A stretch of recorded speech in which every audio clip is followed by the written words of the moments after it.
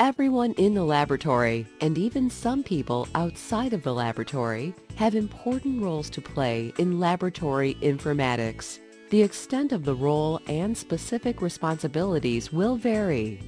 Laboratory informaticians are formally or informally subject matter experts in the application and functionality of informatics in the laboratory.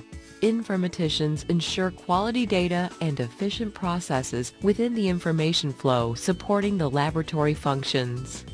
They conduct and manage the steps of laboratory testing and Laboratory Information Management System, or LIMS, processing.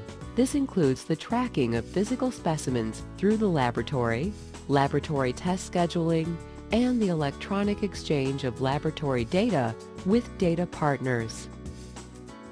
The laboratory director, managers, and administrators ensure the sustainability and functionality of laboratory operations, including budgeting and funding policies and procedures as it relates to informatics systems. They also oversee or support the laboratory operations to manage human resources, billing for laboratory services, and implementation of security programs to meet regulatory requirements and standards.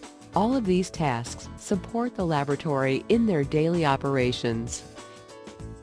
Information technology, or IT, and information systems, or IS support and security personnel are responsible for the core IT hardware, software, and services from a maintenance and troubleshooting standpoint.